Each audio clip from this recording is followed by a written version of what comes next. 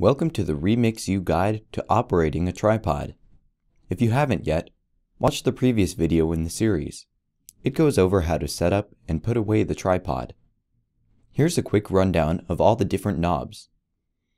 This knob on the bottom lets you adjust the height of the camera without meddling with the position of the legs. It should always be secure before starting a shot. Loosening this knob lets you adjust the position of the arm it should also be fully tightened when you're shooting.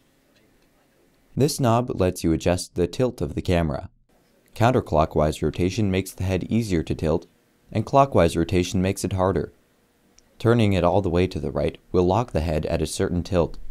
This is important because the fluid drag system, which for tilt is controlled by the knob on the opposite side of this one, will pull the head back towards a level position.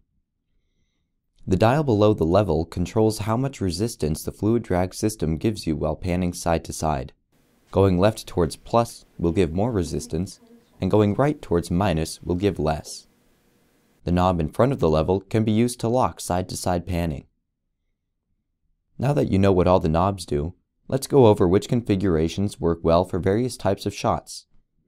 Say you're filming an interview. In general, interviews are static shots, which means that the camera shouldn't move while filming.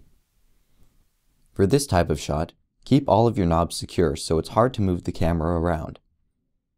But perhaps you're filming a sweeping landscape. Without a wide-angle lens, you'll need to pan some to capture the whole shot. Whenever you pan, be very conscious of which way you're panning, and only loosen the knobs associated with that direction of movement. For our landscape shot, we're probably only panning horizontally, Loosen the knob at the base of the head and adjust the fluid drag system to a comfortable level. In general, leave as many knobs secure as your shot allows. Thanks for watching this Remix U tutorial. For more information about tripods, check out the links in the sidebar.